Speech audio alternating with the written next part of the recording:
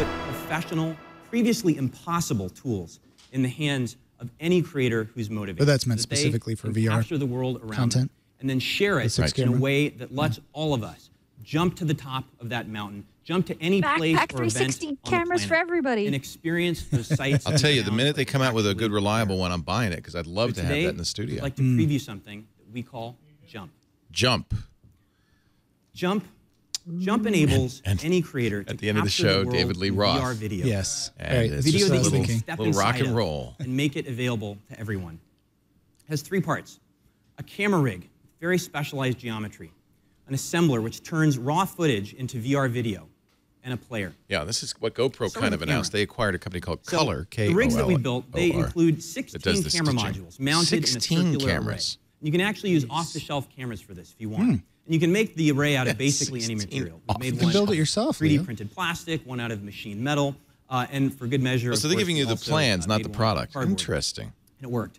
Uh, what's critical is software, the is what actual they do. geometry, Right. and we spent a lot of time optimizing everything. The size of the rig, GoPro, the uh, number was, and uh, placement of the device was cameras, six, field wasn't of it? Six view, cameras, relative overlap, every last detail.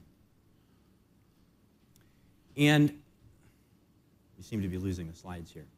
Every last detail. Say it and again. Now, what we want to do is share what we've learned with everyone. Come on, So Harry. just like we did with cardboard, we're going to be opening up the camera geometry with plans available to everyone this summer. Do you need that many cameras? What is the field of of view cameras, of a single camera? So anyone who's motivated will be able to build a jump-ready camera. Now, of course, If if you're a heavily pro and you've Right. done filming with multiple cameras, you know that And it's kind of complicated. Uh, you need synchronized recording, exposure control, and so on. And so we thought it would be good if someone who really knows how to build a great camera could help out. So we called our friends at GoPro. And today, Here it is. I'm excited Okay. to announce that GoPro plans to build and sell a jump-ready 360-degree camera array. All right. Nice. Smart. Very smart.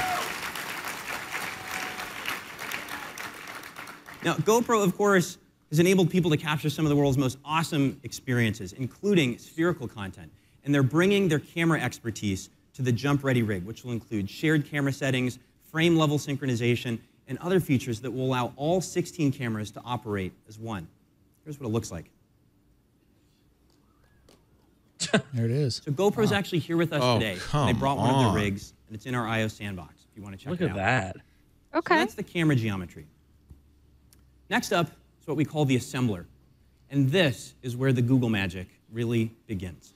Yeah, the The software's key on assembler takes obviously. 16 different video feeds and uses a combination of computational real time? photography, computer vision, Feeds and a whole lot of computers to recreate the scene as viewed from thousands of in-between viewpoints everywhere along the circumference of the camera array. And we then use these in-between viewpoints to synthesize the final imagery, stereoscopic VR video. Let me show you an example of how the assembler creates one single frame of VR video. So first, we take the raw camera data and we do a rough alignment. Next, we perform a global color calibration and exposure compensation, and things start to look a bit better. Yeah, but if we zoom that. in, you'll see Wow. there's still seam looks like the, between uh, some of the images. Mo- Photosphere. Chopper, Moto. Uh, yeah, Here. photosphere. To fix those, No, I'm thinking the algorithms use is actually, information uh, about the underlying San structure of the scene to perform a three-dimensional Is that a alignment. potato cannon? And the 3D alignment works by compensating for the depth of different objects Oh, in the nice. scene. like yeah, software is very key on this. And it's this understanding of depth that also enables us to create all of those in-between viewpoints, which you can see here, Wow. like this. Interpolate between that. That looks seamless. That's amazing. Wow. Oh, Yeah, wow, that's, that's- nice. Holy That's moly. pretty amazing. Got some flare from the light, but otherwise perfect. Yeah. yeah. Yeah, I like how the light flares. Cool. Yeah. It's a fundamentally different and more advanced approach than anything else we've seen. And unlike other solutions, you don't see borders where the cameras are spliced together, and you have beautiful, accurate, depth-corrected stereo in all directions. Now, we've actually built a bunch of these cameras and sent them to places all over the world, from the Google campus in Mountain View to Iceland to Japan, and we've captured some really beautiful How much places. are GoPros? I have to say, Are those you gotta see bunnies? these properly in Yeah. VR. It depends on um, which one you can get. do The nice ones, yeah. But let's see some footage here on stage. 16 cameras, 400 bucks, Hence 6,000 the wraparound bucks. screens.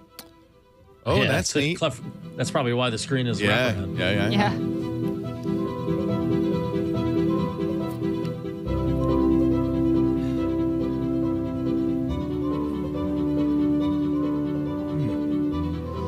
Works video. with video, which I think is very interesting. Yeah.